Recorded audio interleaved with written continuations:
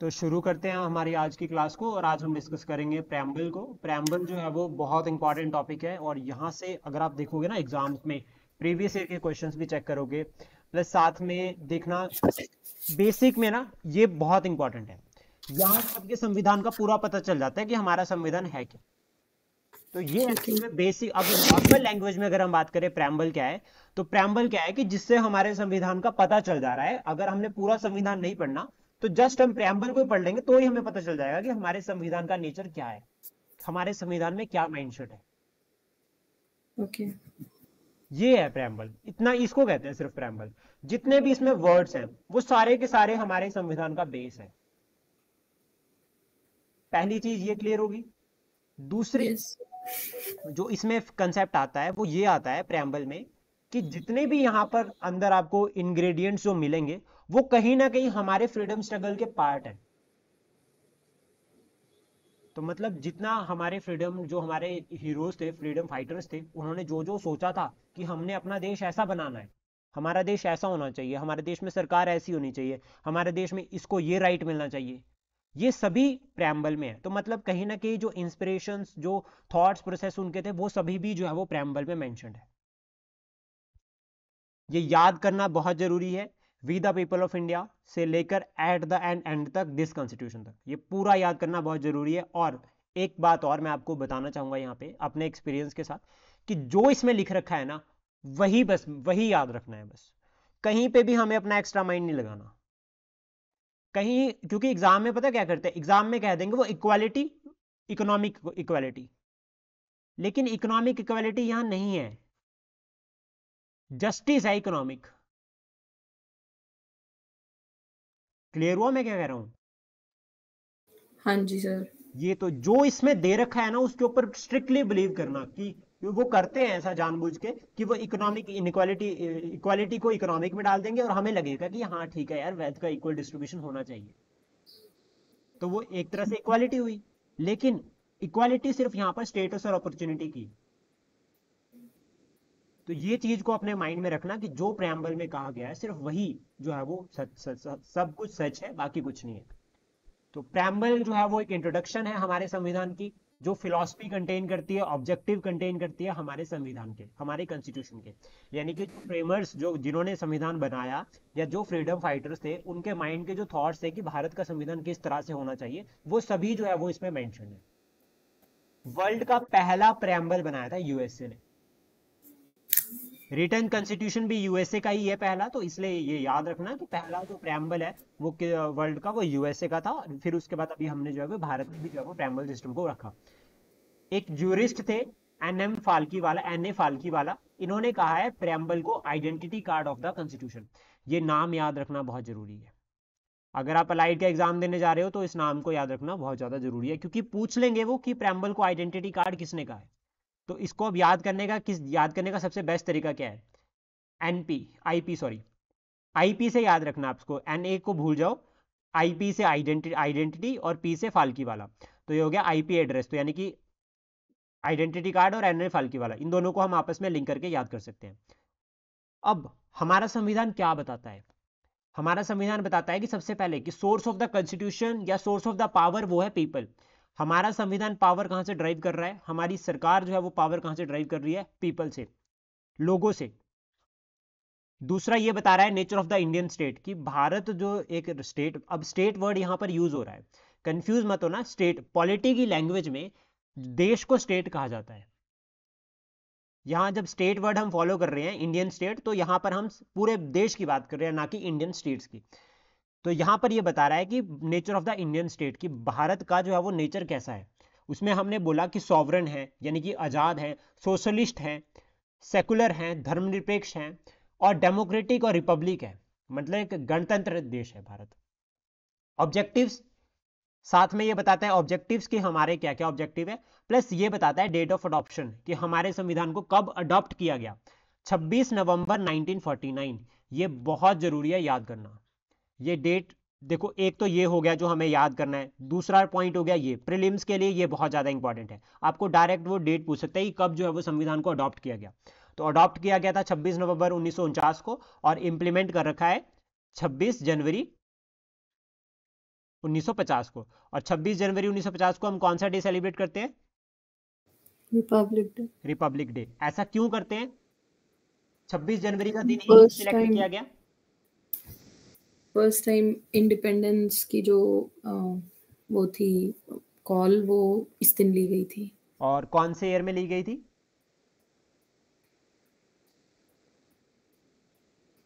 नहीं याद आ रहा। 1930 1930 1930 1930 में कहा गया था पूर्ण स्वराज डे। तो वो जो पूर्ण स्वराज डे था वो इस दिन जो है वो सेलिब्रेट किया जाता है। इसलिए उसके बाद से हम जो है वो 26 जनवरी को जो है वो एक तरह से जो है वो आज़ादी का दिवस मनाया जाता इंपॉर्टेंट था हमारे लिए तो इसलिए हमने इसको कहा कि इस दिन हम अपने संविधान को लागू करेंगे। ठीक है? क्लियर यस इंडियन कॉन्स्टिट्यूशन अगर हम बात करें कि हमारा जो संविधान का जो प्रैम्बल है वो बेस्ड है एक रेजोल्यूशन के ऊपर। ये रेजोल्यूशन है ऑब्जेक्टिव रेजोल्यूशन ये रेजोल्यूशन मूव किया गया था 13 दिसंबर को ठीक है? याद रखना 13 दिसंबर को ये जो है वो रेजोल्यूशन जो है वो मूव किया गया था कॉन्स्टिट्यूट असेंबली में और इसको मूव किया था पंडित नेहरू। क्वेश्चन एग्ज़ाम में बनने के चांसेस हैं यहाँ से कि रेजोल्यूशन किसने मूव किया था। और अगर आप प्रीवियस ईयर चेक करोगे तो ऑलरेडी पूछा भी गया है कि ये ऑब्जेक्टिव रेजोल्यूशन जो है वो प्रैम्बल किससे लिंकअप करता है। तो प्रैम्बल लिंकअप करता है ऑब्जेक्टिव रेजोल्यूशन के साथ, इस तरह से क्वेश्चन बन रखा है। यहाँ पर ना जनवरी होगा। ये जुलाई यहाँ से ठीक कर देना, यहाँ पे जनवरी होगा। ये अडॉप्ट ये जो ड्राफ्ट है तो ये जो है वो रेजोल्यूशन पास किया गया था तेरह दिसंबर को। उसके बाद 22 जनवरी को इसको जो है वो एक्सेप्ट कर लिया गया था, ये पास हो गया था। जिसके बिहाफ पर जो है वो हमारा जो है वो संविधान में जो है वो प्रैम्बल जो है वो मेंशन कर रखा है। ऑब्जेक्टिव रेजोल्यूशन था तो इसमें जब जब पंडित नेहरू ने मूव किया तो उन्होंने क्या क्या बात करी? उन्होंने बोला कि फंडामेंटल राइट्स होने चाहिए, जो हमारे संविधान में अभी है। इन्होंने बोला कि इंडिपेंडेंट रिपब्लिक होनी चाहिए, जो कि हम है। इन्होंने बोला कि सॉवरन होने चाहिए, वो भी हम है। इन्होंने कहा कि पावर ऑफ़ द सोर्स जो है वो पीपल होगा।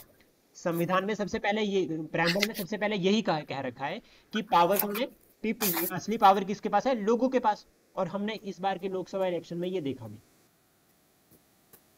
उसके बाद कि सरकार को क्या करना है? तो और प्रोटेक्ट करना है। जितने भी बैकवर्ड क्लासेस हैं माइनॉरिटीज हैं उनके इंटरेस्ट को। तो सिमिलर सरकार ऐसा करती भी है। सरकार ने कमीशन बनाए, सरकार ने रिजर्वेशन दी, सरकार जो है वो अलग अलग राइट्स दे रही है, सरकार प्रोटेक्ट कर रही है। माइनॉरिटीज को भी जो है वो राइट्स दे रही है माइनॉरिटीज को जो है कंडीशंस एक्सेप्शनल कंडीशंस में जो है वो जॉब्स दे रही है। तो ये सभी अप्लाई होता है ऑब्जेक्टिव रेजोल्यूशन के अंदर। फिर यहाँ पर कहा गया कि हमें अपने देश की इंटीग्रिटी को भी मेंटेन करना है, कि जो टेरिटरी है, हमें उन सबको जोड़कर रखना है साथ में। इंटरनेशनल पीस और कॉपरेशन भी जो है वो होना चाहिए। ये जब रेजोल्यूशन जब पास के, जब उन्होंने रखा कॉन्स्टिट्यूट असेंबली में तो वहाँ पर जो है वो ये कहा गया था। तो ये सभी बातों को जो है वो, जो है वो यहाँ पर जो है वो कहा। और साथ में जस्टिस इक्वलिटी लिबर्टी भी है। ये ऑब्जेक्टिव रेजोल्यूशन का पास है। ये मैंने इसलिए यहाँ पर लिख दिया क्योंकि आपको ना क्वेश्चन एग्ज़ाम में पूछा जा सकता है कि which of the following is not under the objective resolution तो ये सभी जो है वो ऑब्जेक्टिव रेजोल्यूशन का पार्ट है। तो इसलिए इनको माइंड में रखना बहुत ज़रूरी है। देन उसके बाद चलते हैं कंपोनेंट्स के ऊपर और कीवर्ड्स के ऊपर कि हमारे प्रैम्बल में ऐसा क्या क्या कहा गया है। तो सबसे पहले कहा गया है we the people of India हम भारत के नागरिक. ये बता रहा है इट इंडिकेट्स दैट कि हमारे पास क्या है अल्टीमेट सॉवरनिटी है, हम पूरे आज़ाद हैं, पूरी इंडिपेंडेंट अथॉरिटी है हमारे पास to manage the state affairs उन्नीस में जब देश आज़ाद हुआ तो उस टाइम पे हमें जो अब ये क्लियर हो गया कि अब हमारे ऊपर जो है वो कोई भी अथॉरिटी नहीं है। हम अपने मैंने, अपने जितने भी अफेयर्स होंगे देश के, उन सभी को खुद मैनेज कर सकते हैं। सॉवरन का मतलब ही सिमिलर हो गया कि इंडिपेंडेंट अथॉरिटी जिसमें भारत अब एक डोमिनियन नहीं है। कोई भी हमारे ऊपर बाहर से जो है वो पावर रूल नहीं करेगी। जैसा कि उन्नीस से पहले ऐसा हो रहा था कि रूल करती थी, और इसका एग्ज़ाम्पल मैं आपको समझाता हूँ। उन्नीस से पहले जितने भी कानून बने, वो कानून कहाँ से बन के आते थे? ब्रिटेन से।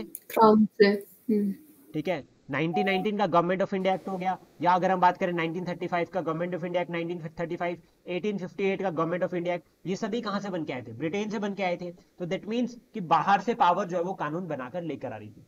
लेकिन यहाँ पर सॉवरन का मतलब ये है कि अब हम अपने जो कानून है वो खुद बनाएँगे। तो इसलिए संविधान हमने अपना खुद बनाया। एक इंडिपेंडेंट अथॉरिटी है, जिसमें हमारे पास ये भी पूरा अधिकार है कि हम किसी भी टेरिटरी को अक्वायर कर सकते हैं और सीड कर सकते हैं। ऐसा नहीं है कि अगर हम आज़ाद हो गए तो हम अपने टेरिटरी को एक्सपैंड नहीं करेंगे। हम कर सकते हैं as per the international norms कि इंटरनेशनल कानून के अकॉर्डिंग जो है वो हम यहाँ पर क्या कर सकते हैं, किसी भी फॉरेन टेरिटरी को अक्वायर कर सकते हैं। और ऐसा हमने किया भी। हमने पौंडुचेरी को अक्वायर किया, हमने गोवा को अक्वायर किया, हमने अंडमान निकोबार को अक्वायर किया, इसी तरह से। वो सभी हमारा इसी तरह से पार्ट बने हैं, क्योंकि वो टेरिटरीज हमने बाद में जो है वो अपने भारत में शामिल की है। क्लियर जी सर। देन उसके बाद नेक्स्ट आता है सोशलिस्ट वर्ड अब सबसे पहले तो याद रखना कि हमारे संविधान में ओरिजिनली ये वर्ड मेंशन नहीं है।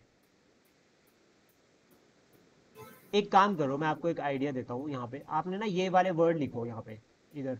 ये लिखो सारे सारे। सॉवरन उनको एक एक साइड अलग से पेज पे लिखो। Sovereign socialist secular democratic republic ये पाँचों के पाँचों को लिखो। Sovereign socialist secular democratic republic एक क्वेश्चन दे रहा हूँ मैं प्रीलिम्स का और बिल्कुल उसी तरह से पढ़ा रहा हूँ जिस तरह से एग्ज़ाम में क्वेश्चन बनते हैं। सॉवरन सोशलिस्ट सेकुलर डेमोक्रेटिक लिख लिया? यस सर अब याद रखना ठीक है? अब मैं आपको बत... ये मैंने इसलिए लिखवाया देखो यहाँ पर कहा गया कि ये जो सोशलिस्ट टर्म है ये ऐड की गई थी फोर्टी सेकेंड अमेंडमेंट एक्ट 1976 में। अब सोशलिस्ट वहाँ से काट दो। सोशलिस्ट जहाँ पर आपने लिखा है उसको इस तरह से क्रॉस कर दो। Okay okay. इसका मतलब ये हो गया कि originally not mention in constitution preamble में ये वर्ड ओरिजिनली नहीं था. ये ऐड किया गया था फोर्टी सेकेंड अमेंडमेंट एक्ट 1976 और ये फोर्टी सेकेंड अमेंडमेंट एक्ट है, इसको मिनी कॉन्स्टिट्यूशन भी कहा गया है.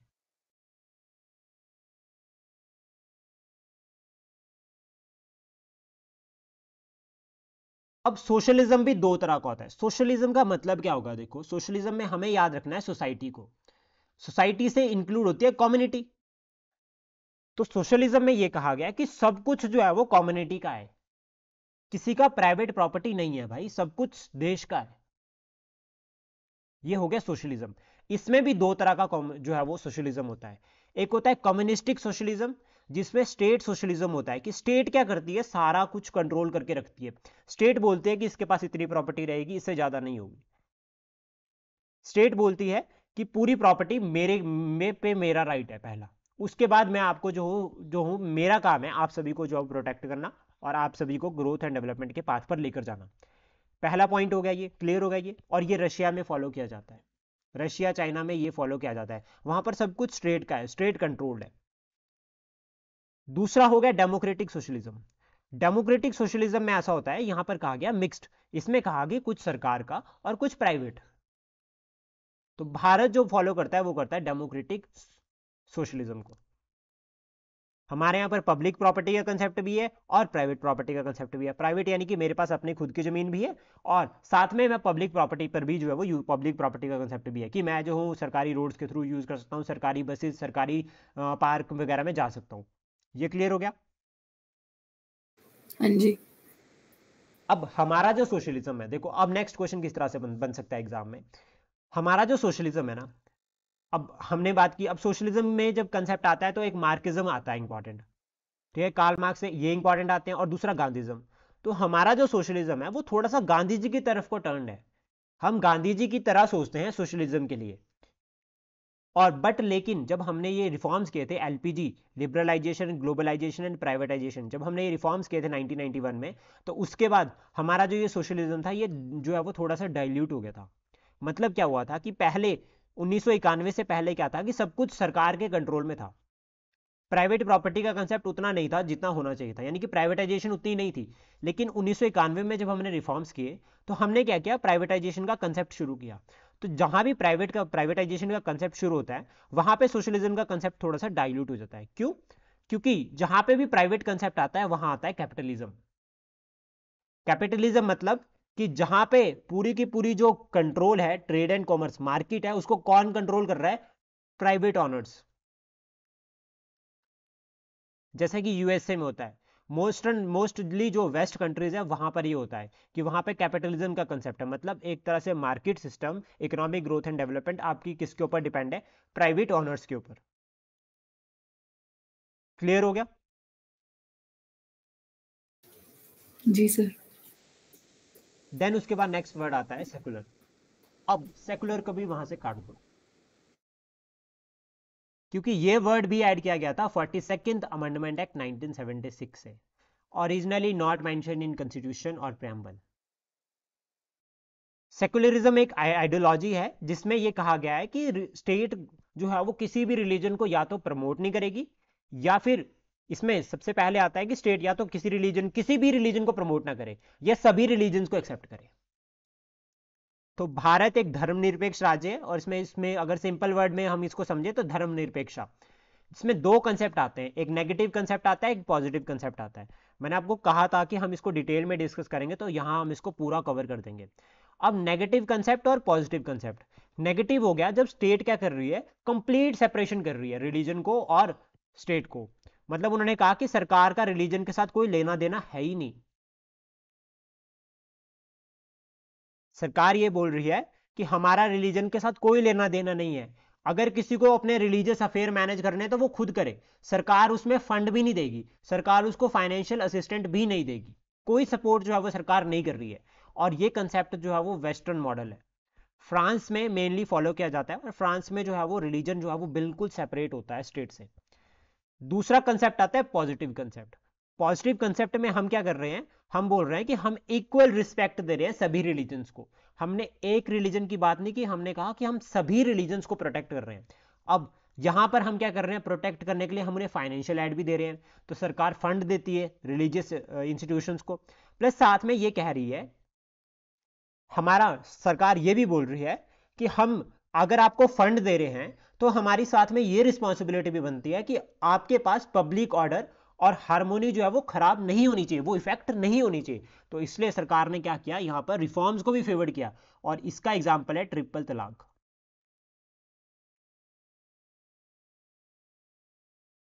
सुप्रीम कोर्ट ने ट्रिपल तलाक को बैन क्यों किया?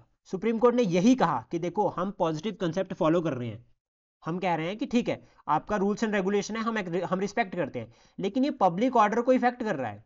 तो जहाँ पे पब्लिक ऑर्डर इफ़ेक्ट हो रहा है, वहाँ पे उसको जो है वो हमने क्या कर दिया? अनकॉन्स्टिट्यूशनल डिक्लेयर कर दिया। प्लस साथ में बैन ऑन अनटचेबिलिटी अनटचेबिलिटी को जो बैन कर रखा है, वो इसी के अंडर जो है वो कर रखा है। Abolish child marriages child marriage को भी अबॉलिश कर रखा है। और रिलीजियस फ्रीडम टू माइनॉरिटीज की माइनॉरिटीज को जो हमने रिलीजियस फ्रीडम दी है तो वो भी किसमें आता है? आपका एक तरह से पॉजिटिव कंसेप्ट में आता है। तो ये तीनों को याद में रखना। कि कौन से जवाब आपके पॉजिटिव हो गए और कौन से नेगेटिव हो गए क्वेश्चन बनने के चांसेस हो जाते हैं, क्योंकि अभी इन डेप्थ डिटेल में क्वेश्चन पूछे जा रहे हैं। देन उसके बाद आता है डेमोक्रेटिक डेमोक्रेटिक मतलब supreme power in people hand अब डेमोक्रेसी भी दो तरह की होती है। एक डायरेक्ट डेमोक्रेसी होती है और एक इनडायरेक्ट डेमोक्रेसी होती है। डायरेक्ट डेमोक्रेसी क्या होती है? जब लोग खुद डिसीज़न ले रहे हैं। जब लोग खुद डिसीज़न ले रहे हैं, मान लीजिए, अभी क्या होता है? अभी हमारे यहाँ पर भारत में क्या होता है कि हमारे अगर कोई डिसीज़न लेना है तो पार्लियामेंट लेती है। हम लोग तो नहीं लेते ना डिसीज़न कि हम लोग डिसीज़न लेते हैं। नहीं सर पार्लियामेंट पार्लियामेंट लेती है। तो जहाँ पर लोग डिसीज़न खुद लेते हैं तो लोग डिसीज़न कैसे लेते हैं? उनके पास चार डिवाइसेस होते हैं। चार डिवाइस होते हैं उनके पास। रेफरेंडम इनिशिएटिव्स रिकॉल और प्लेबिसाइड ये चारों याद रखना।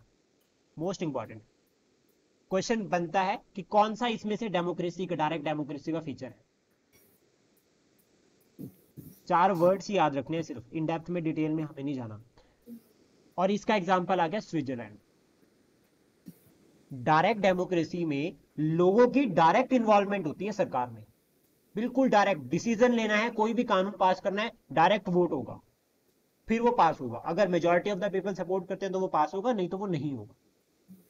भारत में भी डायरेक्ट डेमोक्रेसी का एक एग्ज़ाम्पल आता है। सोचो वो कहाँ पर आता है। कल हमने उसको डिस्कस भी किया था हल्का सा थोड़ा सा। सर जब हम इलेक्ट करते हैं। जब हम इलेक्ट कर रहे हैं तो हम रिप्रेजेंटेटिव डेमोक्रेसी को प्रमोट कर रहे हैं। रिप्रेजेंटेटिव डेमोक्रेसी मतलब इनडायरेक्ट डेमोक्रेसी अच्छा। भारत में आता है एक एग्जांपल डायरेक्ट डेमोक्रेसी का जहाँ पे ये जो रेफरेंडम इनिशिएटिव रिकॉल प्लेबिसाइड ये सब होता है।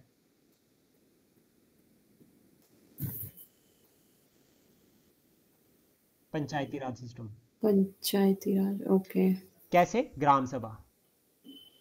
ओके।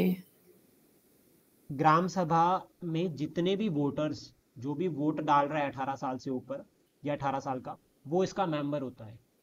जनमंच होते हैं ना? ग्राम सभा के बोलते हैं ना कि ग्राम सभा हो रही है आपको आना है। हम लोग तो जानते नहीं है वो ग्राम सभा में हमें इसलिए बुलाया जाता है कि वी आर मेंबर हम उसके मेंबर हैं और जो भी वहाँ पे इनिशिएटिव अगर लेता है तो वहाँ पे वोटिंग होती है। वहाँ पे सबसे पूछा जाता है कि क्या ये करना सही है? हम्म। तो बिल्कुल ग्रास रूट लेवल पे हमने डायरेक्ट डेमोक्रेसी को कहा है। और डायरेक्ट डेमोक्रेसी को हमने इसलिए कहा है क्योंकि हमें डेमोक्रेटिक डिसेंट्रलाइजेशन को प्रमोट करना है। ये डेमोक्रेटिक डिसेंट्रलाइजेशन मैं हर बार इसलिए बोलता हूँ क्योंकि यही टर्म पूछ जाते हैं पेपर में कि डेमोक्रेटिक डिसेंट्रलाइजेशन किससे लिंक कर रही है। अब चलते हैं इनडायरेक्ट डेमोक्रेसी की तरफ़। इनडायरेक्ट डेमोक्रेसी में क्या होता है? कि लोग ना डायरेक्टली नहीं रूल करते इनडायरेक्टली करते हैं। मतलब अपने रिप्रेजेंटेटिव्स तो मान लीजिए ये हंड्रेड पीपल हुए, इन हंड्रेड पीपल ने दस रिप्रेजेंटेटिव जो है वो सिलेक्ट कर लिए। ये दस रिप्रेजेंटेटिव जो है वो फिर सरकार चलाएँगे। ये काम करेंगे, ये देश को चलाएँगे। लेकिन ये इनको बैक कौन कर रहा है? ये सौ लोग। इनकी पावर जो है वो ये सौ लोगों से आ रही है। तो इसको बोलते हैं इनडायरेक्ट डेमोक्रेसी अब इनडायरेक्ट डेमोक्रेसी में भी दो तरह की डेमोक्रेसी होती है। एक पार्लियामेंट्री फॉर्म ऑफ़ डेमोक्रेसी होती है, एक प्रेसिडेंशियल फॉर्म ऑफ़ डेमोक्रेसी होती है। पार्लियामेंट्री फॉर्म ऑफ़ गवर्नमेंट और प्रेसिडेंशियल दोनों याद रखना, मैं इसको चार्ट फॉर्म में इसीलिए बनाया आपको लक्ष्मीकांत में इस तरह से नहीं मिलेगा। प्रेसिडेंशियल में क्या होता है कि प्रेसिडेंशियल में जब हेड ऑफ़ द स्टेट और हेड ऑफ़ द गवर्नमेंट एक होता है, सबसे पहले तो याद रखना। हेड ऑफ़ द स्टेट और हेड ऑफ़ द गवर्नमेंट एक ही होगा और दूसरा यहाँ पर यह है कि एग्जीक्यूटिव जो है वो इंडिपेंडेंट होगी लेजिस्लेटिव से। यूएसए में क्या होता है यहाँ पे? यूएसए में कि जो यूएसए में काउंसिल ऑफ़ मिनिस्टर्स होते हैं ना, वो प्रेसिडेंट अपनी मर्ज़ी से इलेक्ट करता है। ज़रूरी नहीं है कि वो सीनेट का मेंबर हो। प्रेसिडेंट अपनी मर्ज़ी से अपनी काउंसिल ऑफ़ मिनिस्टर सिलेक्ट करता है। जब वो अपनी मर्ज़ी से सिलेक्ट कर रहा है तो वो रिस्पॉन्सिबल होंगे क्या पार्लियामेंट को? वहाँ की पार्लियामेंट को। नहीं। नहीं। तो प्रेसिडेंशियल डेमोक्रेसी में एग्जीक्यूटिव लेजिस्लेटिव को रिस्पॉन्सिबल नहीं होता। है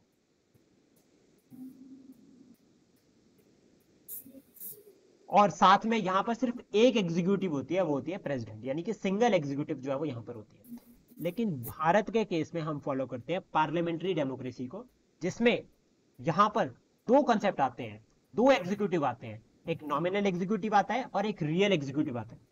जो आपका नॉमिनल एग्जीक्यूटिव होता है ये होता है हेड ऑफ़ द स्टेट और इसको कहते हैं आप प्रेसिडेंट ऑफ़ इंडिया मुझे बताओ कि मैंने आपको कल भी बताया था कि जो प्रेसिडेंट ऑफ़ इंडिया है वो हमने कंसेप्ट लिया तो यूएसए से है लेकिन वो उसके हम सिलेक्शन प्रोसेस वो नॉमिनल बनाया वो किस पे बेस्ड बनाया? किसके संविधान पर बेस्ड हमने उसको जो बनाया? ब्रिटेन ब्रिटेन के तो हमने यहाँ पर नॉमिनल जो है वो प्रेसिडेंट को बनाया. क्लियर यस दूसरा यहाँ पर होता है प्राइम मिनिस्टर जो रियल हेड होता है ये रियल हेड है और हेड ऑफ़ द गवर्नमेंट तो डबल एग्जीक्यूटिव या टू एग्जीक्यूटिव कहाँ पर है आपकी? पार्लियामेंट्री में और प्रेसिडेंशियल में क्या है? सिंगल एग्जीक्यूटिव वहाँ पे पीएम होता ही नहीं है. ब्रिट आपका यूएसए में पीएम है ही नहीं. प्लस अब यहाँ पर एक बात समझो. हमने बोला हमने सिलेक्ट किए थे 542 एमपीज ठीक है? ये एमपी में से फॉर एग्जांपल मान लीजिए 60 बन गए काउंसिल ऑफ़ मिनिस्टर्स बने तो इसमें से ही काउंसिल ऑफ़ मिनिस्टर्स और काउंसिल ऑफ़ मिनिस्टर्स क्या होती है? Executive council of minister executive होती है ना? अब देखो कंसेप्ट समझो कि ये काउंसिल ऑफ़ मिनिस्टर्स किसका पार्ट है? 542 का। मतलब council of executive is a part of legislative correct तो ये रिस्पॉन्सिबल होंगे किसको? लेजिस्लेटिव को। तो यहाँ पर पार्लियामेंट्री फॉर्म ऑफ़ कंसेप्ट में आता है पार्लियामेंट्री फॉर्म ऑफ़ गवर्नमेंट में आता है कलेक्टिव रिस्पॉन्सिबिलिटी का कंसेप्ट कि एग्जीक्यूटिव जो है वो रिस्पॉन्सिबल होगा किसको? लेजिस्लेटिव को. कोई भी काम अगर काउंसिल ऑफ़ मिनिस्टर कर रहा है, ये साठ लोग कर रहे हैं तो इनको जवाब कहाँ पर देना पड़ेगा? पार्लियामेंट में. और इसको इस तरह समझे तो समझते हैं। फॉर एग्ज़ाम्पल है कि मोदी जी ने कोई मोदी जी की सरकार में हो रहा होम मिनिस्टर अमित शाह जी ने कोई इनिशिएटिव लिया, ठीक है? तो मोदी जी ने अमित शाह जी को कहा कि भाई भाई ध्यान से करना ठीक है मेरे को जवाब देना है लोकसभा में। तो जब उन्होंने कहा कि भाई मुझे जवाब देना है लोकसभा में तो that means executive responsible to the legislative clear ठीक है। अब यहाँ पे कंसेप्ट आता है कि क्यों रिस्पॉन्सिबल क्यों रिस्पॉन्सिबल वाला तो क्लियर हो गया कि हमने इलेक्ट किया और उसका पार्ट है। लेकिन हाउ रिस्पॉन्सिबल किस तरह से रिस्पॉन्सिबल होंगे? तो इसमें आता है नो कॉन्फिडेंस मोशन सबसे पहला। नो कॉन्फिडेंस मोशन को हम पूरा डिटेल में डिस्कस करेंगे। ठीक है, दूसरा आता है सेंश्योर मोशन तीसरा आता है मोशन ऑफ़ थैंक्स और चौथा आता है क्वेश्चन आवर वैसे मैं आपको यहाँ पर भी करवा देता हूँ, लेकिन यहाँ थोड़ा आपको समझना पड़ेगा, इसको इन डेप्थ क्योंकि ये पार्लियामेंट का पार्ट है तो पार्लियामेंट में कवर होगा। अब सबसे पहले हम डिस्कस करते हैं क्वेश्चन आवर को। क्वेश्चन आवर क्या होता है कि जब हम क्वेश्चन पूछते हैं, हमने, अब हम क्या, हम नहीं पूछ रहे क्वेश्चन पूछ रहे क्वेश्चन हमारे रिप्रेजेंटेटिव फॉर एग्ज़ाम्पल हमने पूछ लिया अपने मंत्री जी से आ, हमारे एमएलए इलेक्ट हुए या एमपी इलेक्ट हुए हमारे और उन एमपी ने क्या किया? क्वेश्चन पूछ लिया कैबिनेट मिनिस्टर से कि सर बताओ आपने पैसा कहाँ खर्च किया? सर आपने बोला था कि हम क्या करेंगे? हम जो है वो वुमेन के लिए जो पंद्रह सौ रुपए लेकर आएँगे। आपने कहा था ब्लैक मनी वापस आएगी। कहाँ आई सर? तो ये जो क्वेश्चन पूछे जा रहे हैं ये होते हैं क्वेश्चन आवर का पार्ट और जब हम किसी से क्वेश्चन पूछ रहे हैं तो दैट मीन्स हम उसको क्या कर रहे हैं? रिस्पॉन्सिबल बना रहे हैं कि भाई तू बता हमें। क्लियर हो गया? यस सर दूसरा आता है मोशन ऑफ़ थैंक्स ये अभी इन न्यूज़ में है. मोशन ऑफ़ थैंक्स का मतलब ये हुआ कि जब भी नई सरकार बनती है या जब भी प्रेसिडेंट जो है वो ईयर का पहला सेशन जो है वो अटेंड करते हैं ठीक है? प्रेसिडेंट जो है वो पहला सेशन और नई सरकार का पहला सेशन ये दोनों अटेंड करते हैं. तो उस केस में बाद में यहाँ पर क्या होता है कि जब प्रेसिडेंट की स्पीच खत्म हो जाती है तो उसके बाद एक रेजोल्यूशन पास होता है. प्रेसिडेंट बोलता है कि मेरी सरकार में ये काम चल रहा है, मेरी सरकार में ये काम होगा, ऐसा होगा, सब कुछ प्रेसिडेंट बताते हैं। तो ये अल्टीमेटली सारे के सारे काम जो है वो सरकार प्रेसिडेंट के नाम पे ही करती है। तो उसके बाद मोशन ऑफ़ थैंक्स जो है वो पास होता है। अगर ये मोशन ऑफ़ थैंक्स पास ना हो तो इसको जो है वो सरकार का फेलियर कंसिडर किया जाता है। मतलब कि जो हमारे रिप्रेजेंटेटिव है, उनको सरकार पे विश्वास ही नहीं है। और अगर ये पास ना हो तो सरकार गिर जाती है। क्लियर सर ये देता कौन है। हाँ जी। मोशन ऑफ़ थैंक्स कौन देता है? ये मोशन ऑफ़ थैंक्स जो है वो जब जब प्रेसिडेंट की स्पीच खत्म हो जाती है तो उसके बाद ये जो है वो पार्लियामेंट में हमारी जो है वो इंट्रोड्यूस होता है। ओके देन उसके बाद आता है सेंश्योर मोशन सेंश्योर मोशन को मैं आपको डिटेल में करवाऊँगा क्योंकि ये बहुत इंपॉर्टेंट ये पूरा पर्टिकुलर हो जाएगा। नो कॉन्फिडेंस मोशन का मतलब ये हो गया कि सरकार में लोगों का विश्वास ही नहीं रहा। जैसे फॉर एग्ज़ाम्पल रफेल जब आया था ना भारत में तो जब रफेल आया तो रफेल का जो प्राइस था वो एकदम से बहुत ज़्यादा हो गया। तो एमपी जो थे लोकसभा में उन्होंने कहा कि हमें विश्वास नहीं है सरकार में इसमें घोटाला हो रखा है। तो उन्होंने क्या किया? नो कॉन्फिडेंस मोशन इंट्रोड्यूस कर दिया। फॉर एग्ज़ाम्पल मैं एमपी हूँ मैंने क्या किया? रेजोल्यूशन इंट्रोड्यूस मुझे लगा कि सरकार नॉट डूइंग दिस बिज़नेस सरकार ने जो ये बिज़नेस किया है ये काम किया है ये सही नहीं है। ठीक है? तो मैंने क्या किया? नो कॉन्फिडेंस मोशन जो है वो जो है वो इंट्रोड्यूस कर दिया पार्लियामेंट में। अब अगर ये पास हो गया इसकी भी डिटेल प्रोसीजर है हम उसको कवर करेंगे। अगर ये पास हो गया तो जो काउंसिल ऑफ़ मिनिस्टर होगी वो पूरी की पूरी जो है वो रिजाइन कर देगी। पीएम रिजाइन करेंगे और जैसे पीएम हटे काउंसिल ऑफ़ मिनिस्टर खत्म। फिर नई काउंसिल ऑफ़ मिनिस्टर बनेगी नया पीएम अपॉइंट होगा। क्लियर हुआ? हाँ जी। देन उसके बाद नेक्स्ट आता है रिपब्लिक सेंश्योर मोशन को मैं आपको डिटेल में करवाऊँगा, क्योंकि ये दोनों नो कॉन्फिडेंस और सेंश्योर ये दोनों बहुत इंपॉर्टेंट है। क्वेश्चन घुमा फिरा के यहाँ से पूछा जाता है। रिपब्लिक का मतलब हो गया head of the state elected है नॉट हेरिडेटरी हेरिडेटरी नहीं होगा, क्या होगा? इलेक्टेड होगा। अब डेमोक्रेटिक पॉलिटी दो तरह की होती है। एक होती है मोनार्क जिसमें जो हेड ऑफ़ द स्टेट होगा, उसको हम कह रहे हैं कि वो हेरिडेटरी होगा।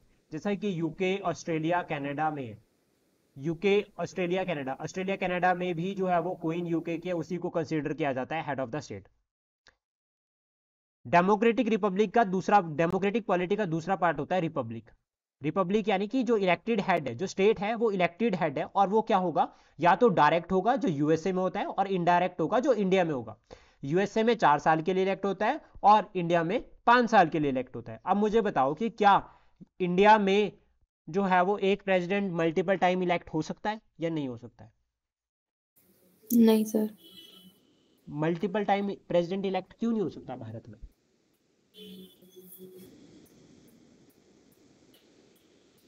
राजेंद्र प्रसाद जी कितनी बार इलेक्ट हुए हैं? हाँ सर हो सकता है हो सकता है. तो अब ये आपको हमेशा याद रहेगा। लेकिन यूएसए में ऐसा नहीं है। यूएसए में सिर्फ़ आठ साल के लिए यानी कि दो टर्म्स के बाद आप नहीं इलेक्ट हो सकते नहीं इलेक्ट हो सकते करेक्ट करेक्ट तो ये हो गया रिपब्लिक का सिस्टम देन उसके बाद आता है जस्टिस जस्टिस में अगर हम बात करें यहाँ पर अब वो कॉन्सेप्ट अप्लाई होता है मैम सोशल इकोनॉमिक पॉलिटिकल इससे बाहर जाना ही ना। जब हम बात करें सोशल जस्टिस तो हम बोल रहे हैं कि हमें इक्वल ट्रीटमेंट करना है। नो no डिस्क्रिमिनेशन कोई डिस्क्रिमिनेशन नहीं होना चाहिए। स्पेशल प्रोविजंस नहीं होने चाहिए प्रिविलेजेस नहीं देनी है स्पेशल लेकिन एक्सेप्शन है इसमें। वो एक्सेप्शन हाँ जी। बैकवर्ड क्लासेस बैकवर्ड क्लासेस क्या पूछ रहे हो आप? नहीं मतलब स्पेशल वैसे इक्वल ट्रीटमेंट है तो स्पेशल ट्रीटमेंट का एक्सेप्शन है आपने बोला। हाँ वो बैकवर्ड क्लासेस के लिए माइनॉरिटीज के लिए वुमेन के लिए चिल्ड्रन के लिए वो सब फंडामेंटल राइट्स में कवर करेंगे। यहाँ पर हमें याद रखना है कि हम कह रहे हैं सोशल में सोशल जस्टिस का मतलब हो गया कि हमें इक्वल ट्रीटमेंट करना है। No discrimination absence of special privileges and improvement of backward classes कि हमें बैकवर्ड क्लासेस की इंप्रूवमेंट देखो अब यहाँ पे कंसेप्ट समझो। ये हमारी ब्यूटी है हमारे कॉन्स्टिट्यूशन की कि हर चीज़ जो अभी होनी है वो ऑलरेडी मेंशन कर रखी है। इन्होंने बोला कि अब्सेंस ऑफ़ स्पेशल प्रिविलेजेस कोई स्पेशल प्रिविलेजेस नहीं होगी। लेकिन साथ में ये भी कह दिया कि इंप्रूवमेंट ऑफ़ बैकवर्ड क्लासेस भी करनी है भाई। तो अगर सरकार कोई S T S C OBC के लिए कानून बना रही है तो वो सरकार बोलते हैं कि देखो, हमें ये भी कहा गया है। हमें इंप्रूवमेंट भी करनी है। हमें अब्सेंस ऑफ़ स्पेशल प्रिविलेजेस का भी ध्यान रखना है और हमें इंप्रूवमेंट भी करनी है। तो इंप्रूवमेंट करने के लिए हमें तो कमीशन बनाने पड़ेंगे। तो ये कंसेप्ट दोनों यहाँ पर अप्लाई होता है। इसको याद रखना। और ये जो हम सोशल इकोनॉमिक पॉलिटिकल जस्टिस की बात करते हैं ना, ये हमने रशियन रेवोल्यूशन से लिया है। ये याद रखना, ये रशियन रेवोल्यूशन का कंसेप्ट है। इकोनॉमिक में अगर हम बात करें तो इकोनॉमिक फैक्टर में यहाँ पर कहा गया है कि no discrimination on the basis of the economic factor कि किसी पे भी जो है वो इकोनॉमिक फैक्टर के उस पर जो है वो हम डिस्क्रिमिनेट नहीं करेंगे। फॉर एग्ज़ाम्पल अगर तेरे पास पैसे नहीं है भाई तो इसका मतलब ये नहीं है कि हम तेरे तेरे को डिस्क्रिमिनेट करेंगे। या अगर मैं गरीब हूँ तो इसका मतलब ये नहीं है कि मेरे साथ जो है वो डिस्क्रिमिनेशन होगा। नहीं, मैं फिर भी वोट डालने जाऊँगा। मेरी वोट की पावर उतनी होगी जितनी एक अमीर की होगी। तो इसका मतलब होगा no discrimination on the basis of economic factor clear हाँ जी। Elimination of inequality in wealth income and property अब ये कंसेप्ट यहाँ पे समझना बहुत ज़रूरी है।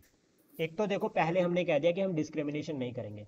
दूसरा हम ये कह रहे हैं कि elimination of inequalities in wealth income and property लेकिन अब हम ऐसा क्यों करेंगे? क्योंकि हम बोल रहे हैं डेमोक्रेटिक सोशलिज्म कंसेप्ट समझना, अभी पूछने वाला हूँ आपसे मैं। हम बोल रहे हैं डेमोक्रेटिक सोशलिज्म जिसमें हमने बोला पब्लिक प्रॉपर्टी और प्राइवेट प्रॉपर्टी अब अगर कोई जमींदार है, अगर कोई पुराना जमींदार है, जिसके पास है भाई पूरा एक पहाड़ तो उसकी गलती थोड़ी ना है वो? उसकी भी तो वो प्राइवेट प्रॉपर्टी हुई पर्सनल और वो कंसेप्ट डेमोक्रेटिक सोशलिज्म में आता है। फिर हमने क्यों बोल दिया कि हमें जमींदारी सिस्टम को अबॉलिश करना है?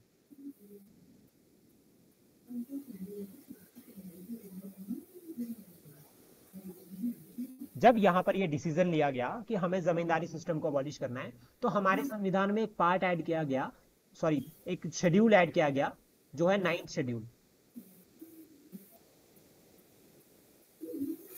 और इस नाइन्थ शेड्यूल में यह कहा गया ये फ़र्स्ट अमेंडमेंट से हुआ है। फ़र्स्ट कॉन्स्टिट्यूशनल अमेंडमेंट एक्ट की गई थी 1951 में।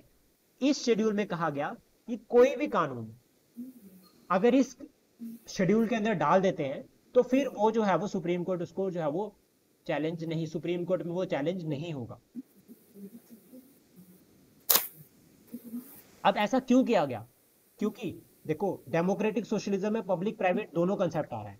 मतलब जमींदार के पास अगर बहुत सारी ज़मीन है तो वो उसका प्राइवेट राइट है और फंडामेंटल राइट में हम राइट टू प्रॉपर्टी दे रहे हैं। तो अगर सरकार उससे ज़मीन छीनेगी तो उस केस में वो कहा जाएगा? सुप्रीम कोर्ट के पास। अगर मेरी प्रॉपर्टी चली जाती है तो मैं सुप्रीम कोर्ट या मैं मैं जुडिशरी के पास जाऊँगा ना? हम्म, तो उस केस में क्या होगा? तो सरकार ने क्या बोला कि ये जा ना पाए मैं पहले ही नाइन शेड्यूल बना देता हूँ और जो कानून मैं बनाऊँगा वो शेड्यूल के अंदर डालूँगा। सरकार ने बोला वो इस शेड्यूल के अंदर चल जाएगी। जब इस नाइन शेड्यूल के अंदर चली गई तो वो चैलेंज नहीं होगी। तो जमींदारी सिस्टम अबॉली इसलिए किया गया था यहाँ पे क्योंकि वेल्थ जो थी वो कंसेंट्रेटेड थी जमींदार के पास। और 1951 में हमने बोला कि हमें एग्रीकल्चर ग्रो कर हमें एग्रीकल्चर चाहिए। हमारे पास फ़ूड प्रोडक्शन होनी चाहिए, हमें इक्वालिटी प्रमोट करनी है। अब इक्वालिटी प्रमोट कैसे करेंगे? जब फार्मर के पास ज़मीन ही नहीं होगी तो वो काम कैसे करेगा? तो इसलिए सबसे पहले यहाँ पर जमींदारी सिस्टम को अबॉलिश किया गया था। और पाकिस्तान ने सबसे बड़ी गलती यही की थी कि उसने जमींदारी सिस्टम को अबॉलिश नहीं किया। उसने कंटिन्यू रखा। जिसकी वजह से आज भी देखोगे तो वेल्थ किसके पास है? बड़े बड़े जमींदारों के पास है पाकिस्तान में। लेकिन हमारे पास क्या है? हर गरीब के पास अब अपनी कुछ कुछ कुछ ज़मीन तो है। क्लियर हर फार्मर के पास अपनी जो है वो आज के टाइम में ज़मीन है। यहाँ तक क्लियर हो गया? तो मतलब जो भी प्राइवेट प्रॉपर्टी है या जो भी जिनके पास भी है लैंड वो अंडर नाइन्थ शेड्यूल आएगी। नहीं। कानून नाइन्थ शेड्यूल में आएगा। जमींदारी अबॉलिशमेंट का जो कानून था वो नाइन्थ शेड्यूल में ऐड किया गया। अच्छा। उससे फिर जमींदारी हट गई। जब जमींदारी सिस्टम हट गया तो दैट मीन्स जो बड़े बड़े जमींदार थे जो उनके पास ज़मीन थी वो डिस्ट्रीब्यूट होनी शुरू हो गई। जिसको भूदान मूवमेंट भी कहते हैं। ऐसा होता है ना कि यार ये ज़मीन उनको जो है वो उसमें मिल रखी है। क्या बोलते हैं? एक वर्ड बोलते हैं हिंदी में। जागीर। हाँ, जागीर नहीं जागीर तो जमींदार की हो गई ना। वो कहते हाँ हैं कि एक तो ज़मीन खरीदी होती है एक शामलात सरकार ने दी है ये। ये सरकार की तरफ़ से दी गई ज़मीन है। तो वो जमींदार से ली फिर सरकार अच्छा। ने दी। ऐसा सिस्टम शुरू हुआ था। नौ तोड़ टाइप।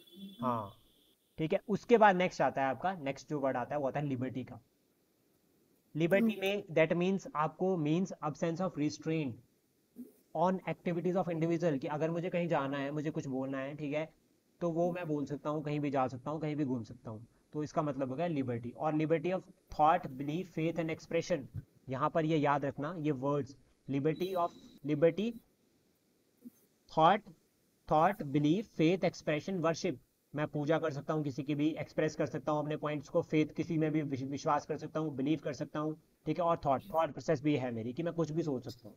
तो ये मेरे राइट्स हैं, ये मेरा लिबर्टी ठीक है? अब यहाँ पे याद रखना कि प्रैम्बल में लिबर्टी है, ठीक है? और लिबर्टी जो है वो फंडामेंटल राइट्स के थ्रू मेंशन है। लेकिन ये enforceable in court of law है। जो लिबर्टी है प्रैम्बल तो चैलेंजेबल नहीं है सुप्रीम कोर्ट में ठीक है? लेकिन प्रैम्बल में लिबर्टी मेंशन कर रखी है और इसका पावर जो है वो फंडामेंटल राइट से लिंक हो रहा है। अब यहाँ मैं आपको एक कंसेप्ट समझाता हूँ।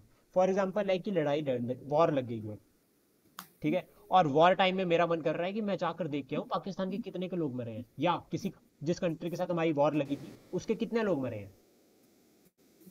अब मुझे जाने देंगे क्या? नहीं। क्यों नहीं जाने देंगे? क्यों मुझे रिस्ट्रिक्ट करेंगे?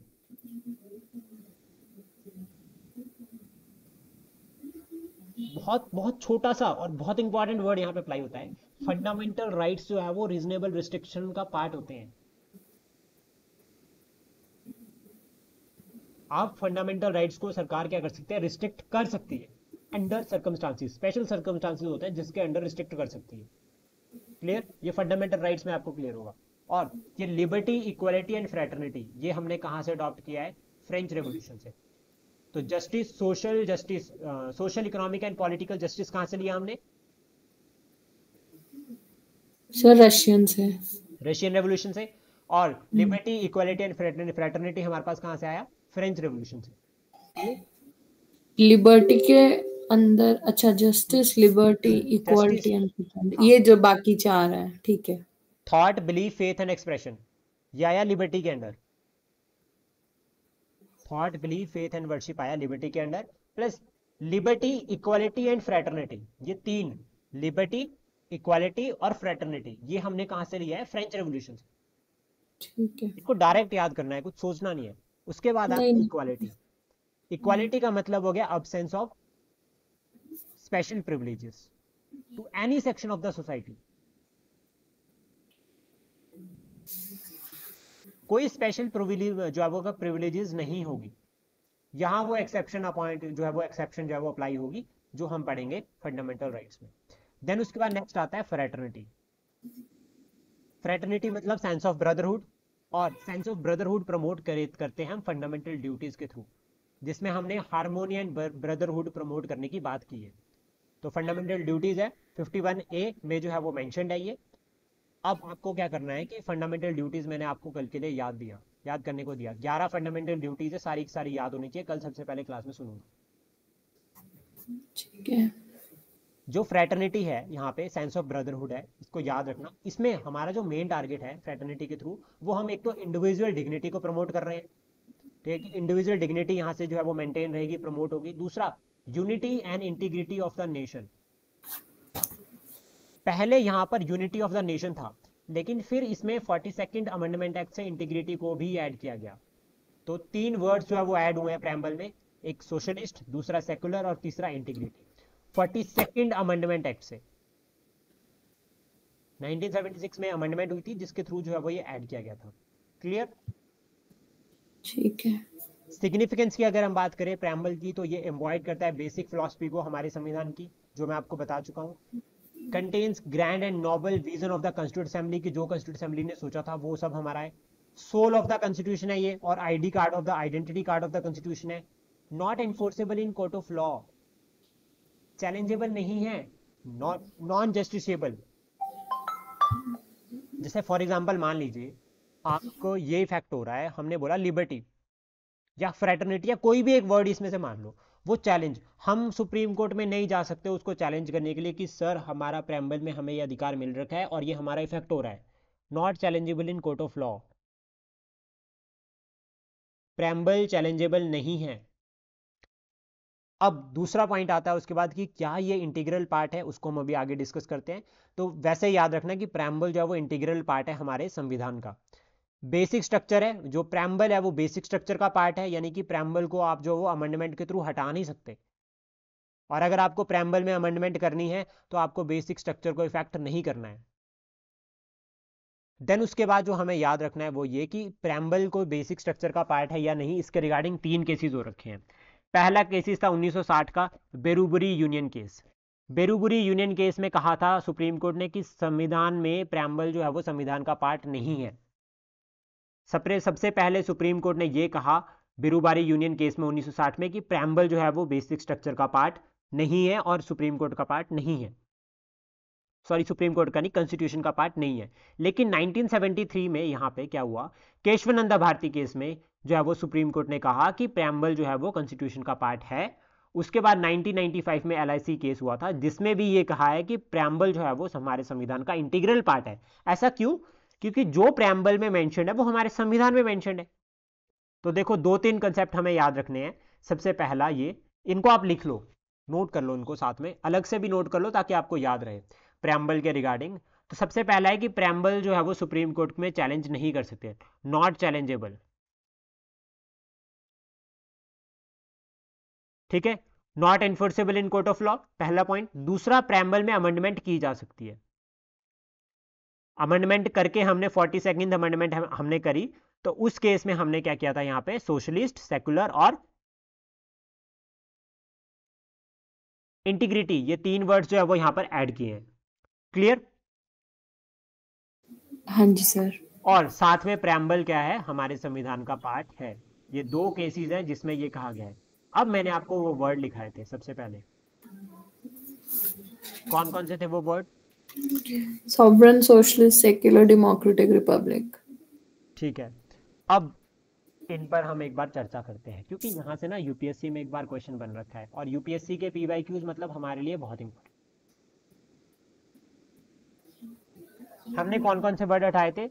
सोशलिस्ट सेक्युलर जब भारत 26 जनवरी को रिपब्लिक बना था तो उस टाइम भारत के पास क्या था? Sovereign democratic Republic